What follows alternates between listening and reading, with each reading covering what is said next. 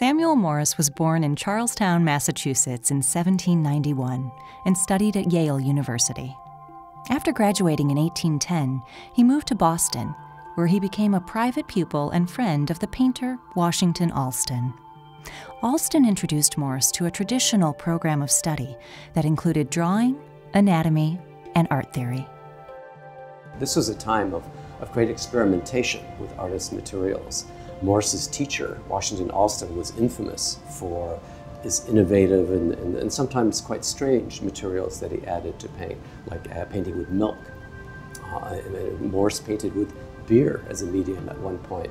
So, although many artists in the 19th century might have added a little bit of varnish to their paint for practical reasons to have it dry faster, Allston and Morse might have been at the extreme edge of trying unusual materials.